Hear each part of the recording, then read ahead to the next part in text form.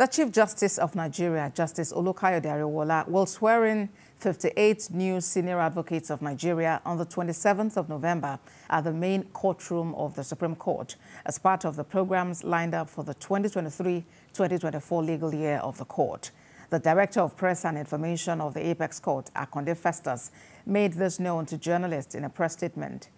114 applications were received by the Legal Practitioners Privileges Committee for the award of the rank of Senior Advocate of Nigeria in 2023.